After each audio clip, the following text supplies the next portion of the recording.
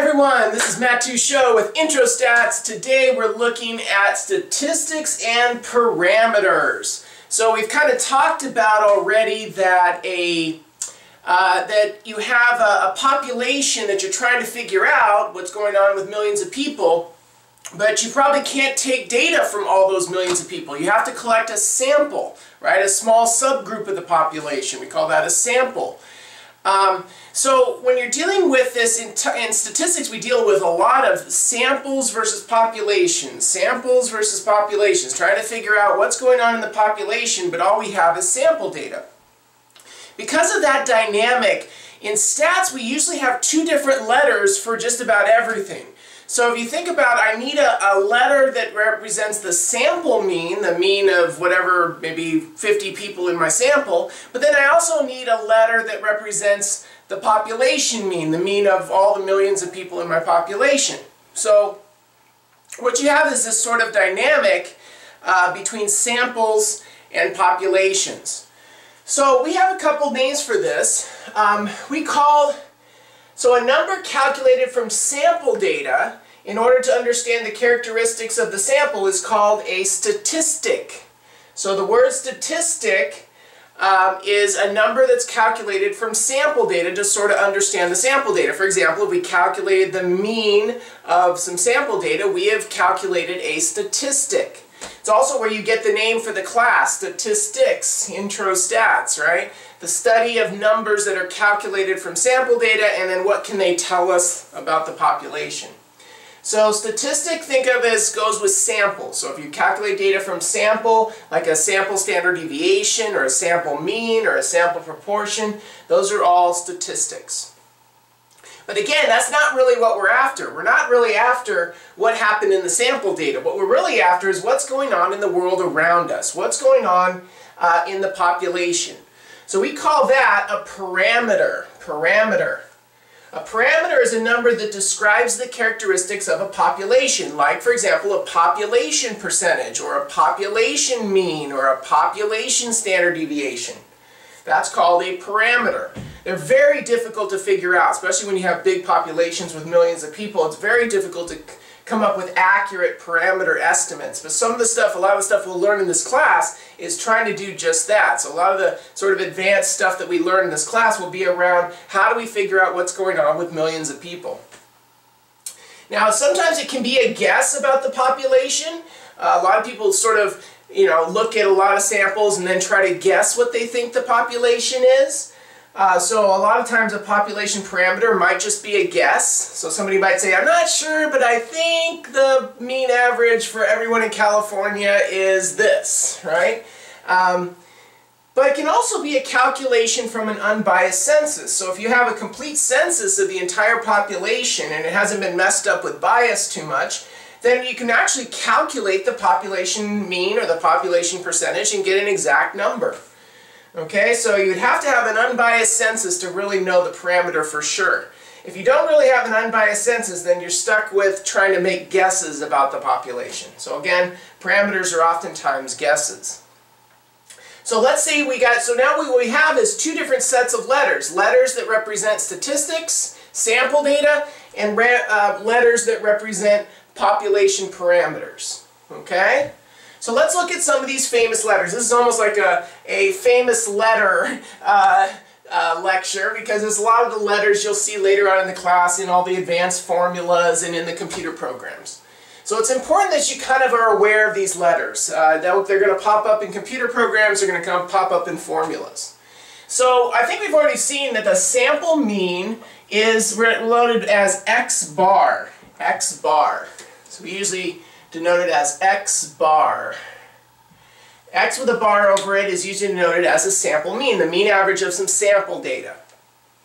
But that's not really what we're after. We're after the population mean. I want to know what the mean is for the millions of people in the population.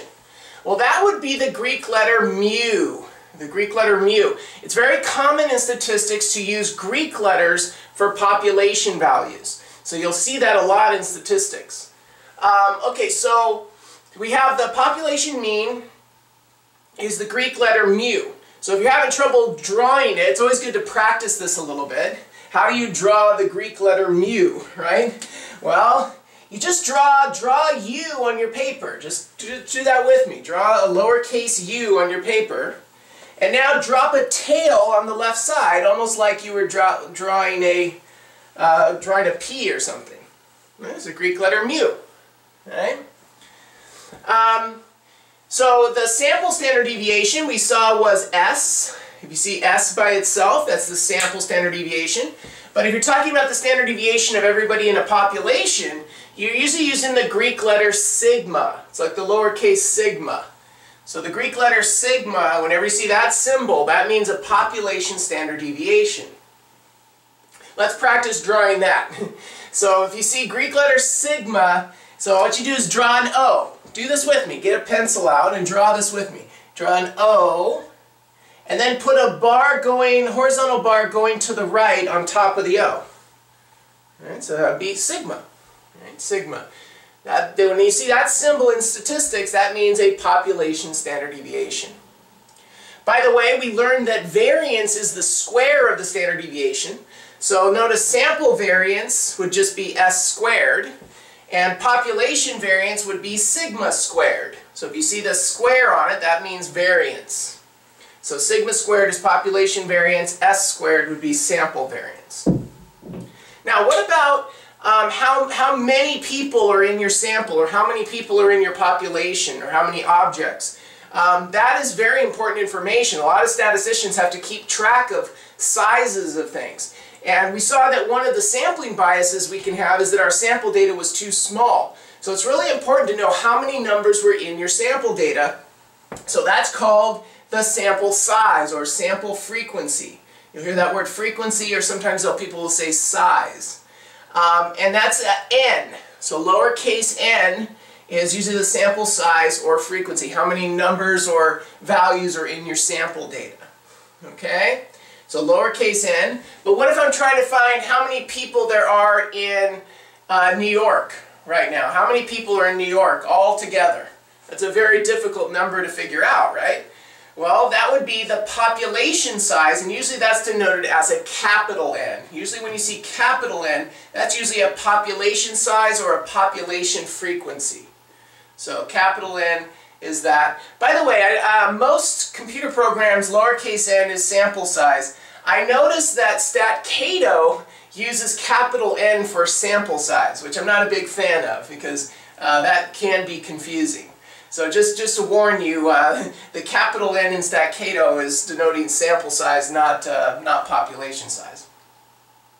Okay, um, it's really important to figure out percentages. In fact, one of the things that we try to do a lot of in statistics is, is around percentages. And we saw that the decimal equivalent of a percentage was a proportion. So if you're trying to figure out a proportion from sample data, it's p hat. We usually call it p hat. Like you put a little hat on the p. It's like a little upward arrow on top of the P. When you see that symbol in statistics, that means the sample proportion. Now that proportion should be written as a proportion. It really shouldn't be written as a percentage. You should convert it back to decimal, the decimal equivalent. So this symbol means sample proportion. And by the way, that's very important in, in uh, computer programs. Uh, I don't think there's hardly any time in a computer program that they'll let you put in a percentage. You have to always convert the percentage back into a proportion before you type it in the computer. So the sample proportion is p hat. But what about the population proportion? Well, there's a couple letters that are used. Um, historically, we in statistics, we used to use pi. Uh, pi was always used as the population proportion. You can imagine that it created some kind of uh, a little bit of, uh, of controversy with geometry classes, right? And the famous number pi, 3.141 and all that. But when you see pi in statistics, it's not 3.14. This is actually a symbol we used for many years on denoting the population percentage or population proportion.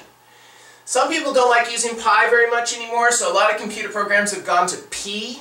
Uh, they use a lowercase p for population proportion.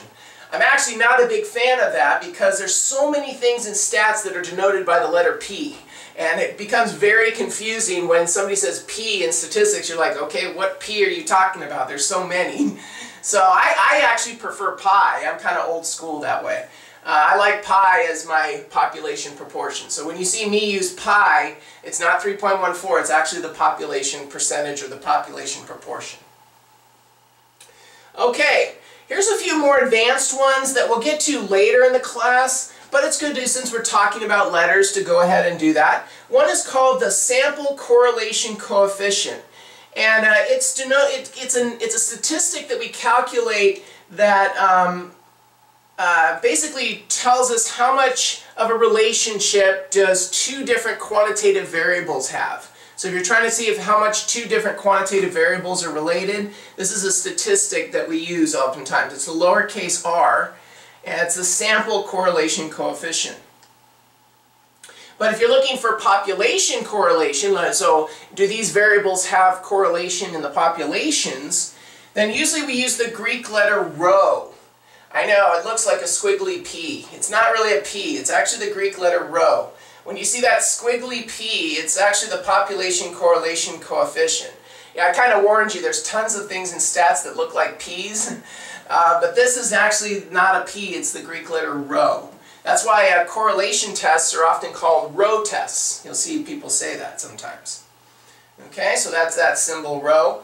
Um, if you're trying to find the slope of a line from sample data, uh, that would be B1, usually B1. I know that some of you used M in your algebra classes, but in stats we use B1 for sample slope.